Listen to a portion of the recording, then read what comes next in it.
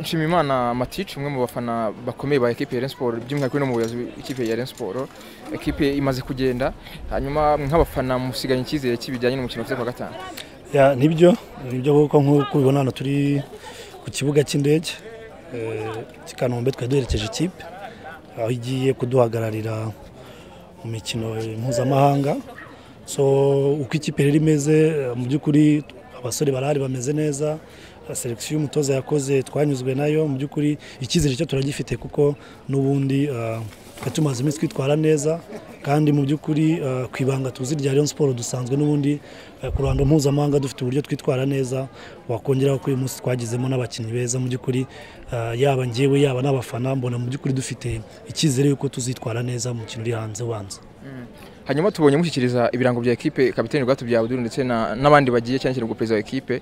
Mubatumye iki n'iki mubahaye nk'inshingano Ah, ni ubutumwa eh, tubanje guha perezida kwanza wa Rayon Sport idarapo ry'u Rwanda rigaragaza yuko nubwo bagiye nk'umuryango wa Rayon Sport ariko bagiye bahagarariye igihugu bazitwara neza barihesha ishema.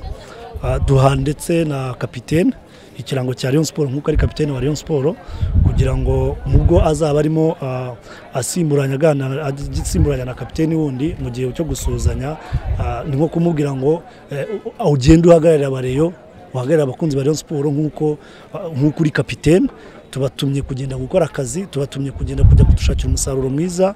Mu by'ukuri kugira ngo abakunzi ba Rayon Sport kuwa gatanu nibura nyuma ya saa mbiri nyuma ya saa yine umukino urangiye tuzabe twishimye. By'umwihariko we mati uri mu benjuriza amatsinda Rayon Sport iheruka. Kubera ko hari naho yerekezaga hanze y'u Rwanda wagiye kuri imikino yayo. Iyi kipe ya Rayon Sport urabona bishoboka ko yakuramo Elal Bengazi hanyuma ikaba yagera mu matsinda nk'uko muri kuyarota Ah, birashoboka cyane birashoboka cyane nubwo bikomeye kuko oh, yaba Alilal Bengazi yaba n'iriya ekipe bakinnye Kakameka ugereranyije ku ma- ku mateka zifite Rayon Sport ifite amateka ari hejuru yayo. Kuko iyi ekipe ndumva ni ejo bundi niba atari bibiri n'umunani ni bibiri na cumi n'umunani niba ntibaza ni ejo bundi. Wajya kureba kuri Palmares wenda ishobora kuba ari ekipe ifite ubushobozi kuko ari ama ekipe yo mu butayu bwa Sahara ni ama ekipe eh, akomeye afite ubushobozi bw'amafaranga. Icyo gihe rero uh, wagendera kuri ekipe nka Rayon Sport ifite ubushobozi dufite ubushobozi neza bwo mu kibuga. Ikindi wareba ku bakinnyi dufite dufite abakinnyi beza dufitemo n'abakinnyi bafite experience. Iyo ugiye kureba nk'ubu ngubu niba dufite rwatubyaye ubushize bwo twajyagayo yari ahari twari twatangiranye parcours master yari ahari twatangiranye parcours wajya kureba Eritien Nzinga Ruvumbu ni umukinnyi umenyereye aya marushanwa. Yayakina arayazi. Ojera yarakinnye ari bugari. Mu by'ukuri ekipe dufite ujyanye ah, na experience bafite kongeraho staff uyu mutoza mukuru ya men's fan dufite aza aya marushanwa cyane. Mu by'ukuri ekipe dufite niveau uh, uh, technique cyangwa se ku buryo bwa bwo mu kibuga ni- ikipe itanga icyizere. Navuga yuko uh, ugereranyije nk'uko wari ubivuze n'ikipe y'ubushize ubwo twari mu matsinda. Harimo wenda diferanse kuko wenda iriya ekipe yasaga nk'aho imaranye nk'imyaka itatu cyangwa ine zarerema nkeya nshyashya. Ariko mu by'ukuri wajya kureba uyu munsi wa none dufite ekipe nziza ikomeye.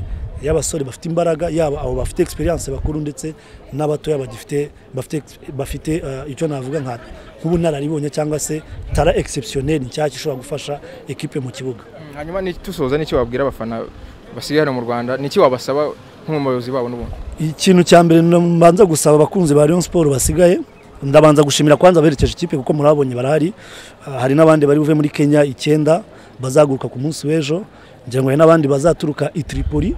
Muri Libya nabo bazaza gushyigikira ikipe ya Rayon Sport Ah, ndetse n'abandi banyarwanda bazaza bari kumwe na kapiteni wa ekipe nationale Harun batubwiye yuko rwose bazaba bari kumwe na, Rayon Sport nk'abanyarwanda bose muri rusange.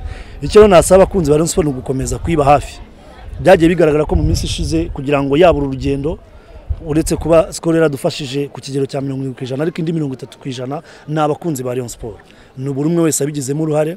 Iyo ntambwe rero ahangaha ni ho urugamba rutangiye. Icyo nabasaba ari amasengesho abakomeza kudusengera basenge hanyuma kandi n'abafite ubushobozi bakomeza kugira ngo ubu ngubu twashyizeho uburyo bwo kugira ngo duherekeze aba bahungu.